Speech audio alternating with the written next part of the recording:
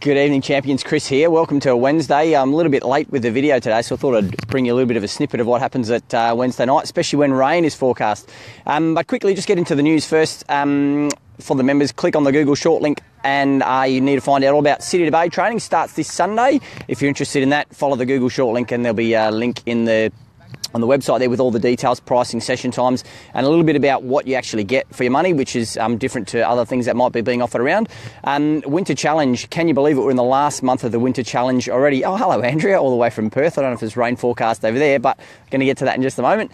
Um, so good to see uh, people really embracing that, booking their sessions and turning up and all that sort of thing. All the actions uh, out there behind me now. Look at that. Oh, struggling with a light here.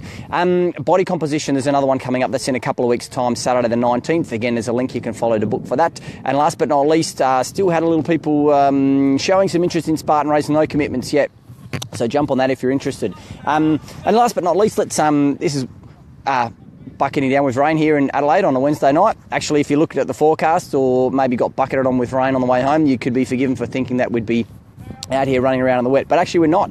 Um, uh, close by is undercover area, which we'll retreat to if it does in fact rain. But so far tonight, all the hard work's done. Finishing off with a bit of game of modified netball out there, people getting their heart rates up and all that sort of thing. Um, but largely dry session. So rule number one: if rain is forecast, come to the session anyway and see what's going on. Um, plenty of people out there getting their workout tonight. We're not going to miss a thing simply because of the weather.